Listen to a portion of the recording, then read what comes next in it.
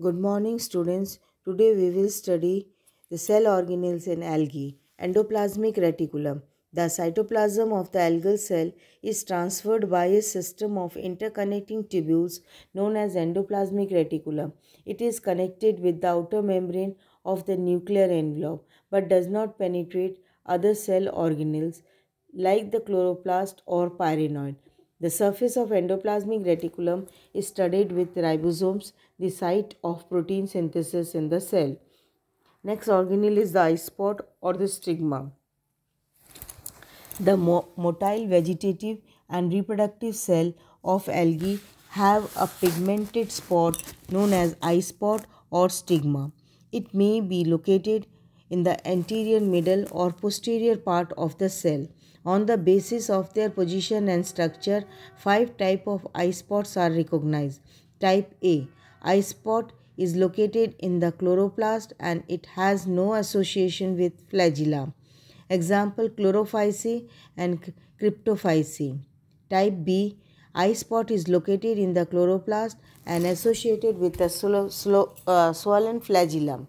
Example in Phaeophyceae and Xanthophyceae. Type C eye spot are independent clusters of osmophilic granules and are situated at the anterior side of the cell near the flagellar swelling. Example in Euglenophyceae. Type D eye spot have osmophilic granular structure with a membranous lamellae and are situated near the flagellar base as in case of Dinophyceae. Type E eye spot is made up of lens, retinoid and pigmented cup.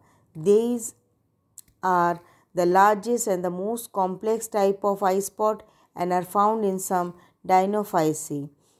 Although the eye spot is considered to be the light sensitive organelles which directs the movement of the swimming cells, certain mutants of Chlamydomonas lack eye spot and are still phototactic.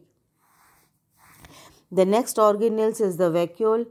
Except uh, mature cells of almost all class of algae possess one or more vacuoles.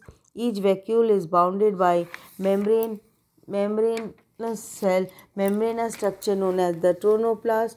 Motile algal cell may have the following two types of vacuoles simple or contractile vacuole. Such vacuoles found in the member of Chlorophyceae shows periodic contractions and throw out the waste product out of the cell. Complex vacuole.